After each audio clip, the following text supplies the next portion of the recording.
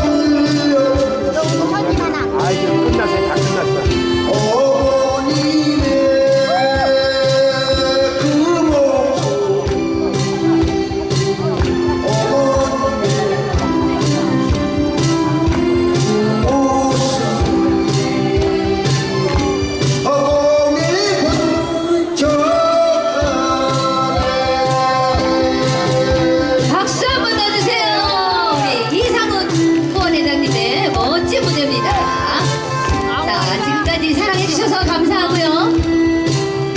26일 날 월미도에서 뵙겠습니다. 박수!